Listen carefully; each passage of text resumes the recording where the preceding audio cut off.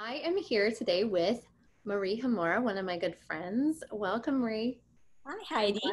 I'm so glad you're here. I want you to tell everyone about yourself. Hi, I'm Marie Jamora. I'm a writer director, originally from Manila, Philippines. I moved to LA seven years ago, and now we're doing a couple of things. Um, my short film Harana, which means serenade in Filipino, is premiering at the Urbanworld Film Festival in New York, but it's going to be global, so anybody can watch. Um, and we are also premiering at the LA Asian Pacific Film Festival in October.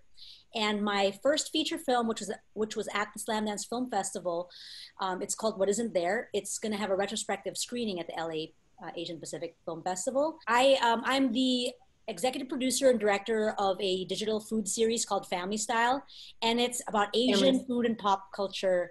It's made with Stage 13, which is a Warner Brothers digital company, and in cooperation with YOMYOMF, which is Justin Lin's digital company.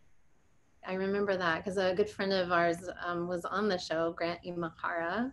He was in my one of my favorite episodes, which was a sushi challenge, because um, there's a myth that females can't be sushi chefs because their hands are hotter than men's hands. And we're we were calling BS on that, and yeah. Grant helped us prove it true or false. And uh, you'll see it on season one, and our season two is on um, just got released, and we finished it during the pandemic actually. Were you just editing at that point, or were you still shooting during the pandemic? We started shooting pre-pandemic, and we I would say we shot around sixty percent of the show and you know mm, wow. stirrings were starting to happen and obviously it's our show is called family style so there's a lot of conversations sharing meals. So we started stopping to share meals and we are like okay let's try to do this safely. But that there was that fateful day where the nba shut down um, which was our last day of shooting and we were just like okay let's take a hiatus.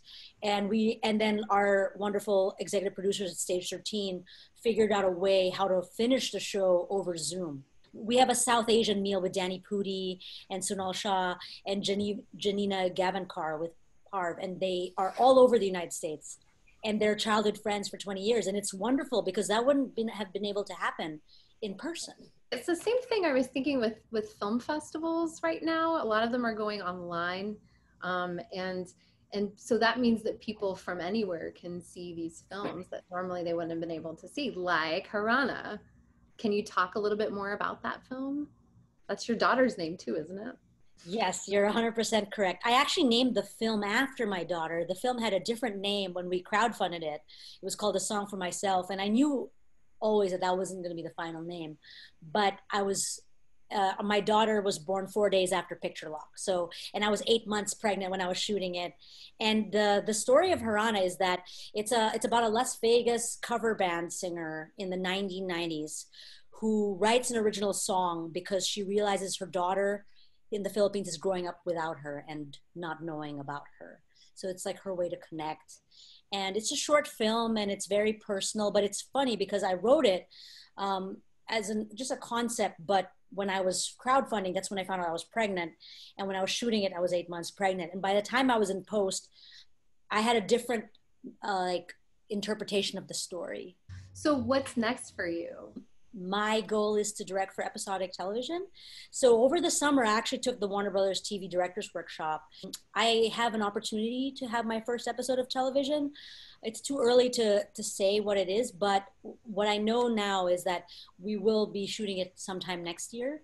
So the, what I do now to prepare for it is just, you know, um, because of the wonderful lessons I learned at the Warner Brothers Workshop, I know now how to prep for a show, like do it the way that the professionals do it.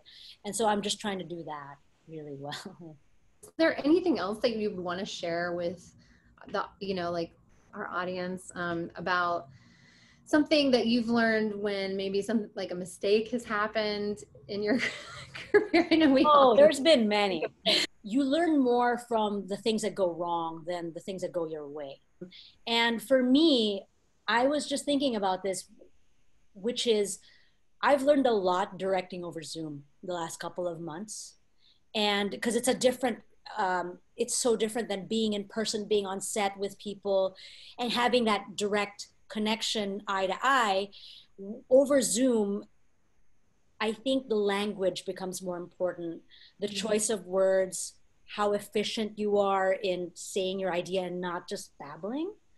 And I realized that I babble a little bit. And, uh, but the nice way of saying it is, I like the sound of my voice, as all directors do.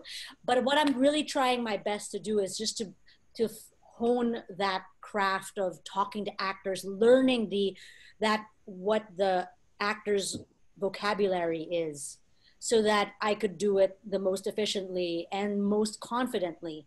We're adapting, aren't we, with the yes. Zoom stuff? It's that's a great way of saying it. It is adapting because who we don't know how long this is, and we maybe a lot of prep has to be over Zoom now, and to be able to have everything we learn. We go to school for this for many years, but like we're just like all thrusted into this environment where you're just like, do your work on this thing. you know, it, it's hard too. Like even while you're talking, I'm I'm one of these people that likes to go, uh huh, yeah, uh huh, and I'm like, oh, I have to be careful with Zoom because if you talk over somebody over, then the sound cuts out. But even I like to babble. Actors like to hear our own voices too.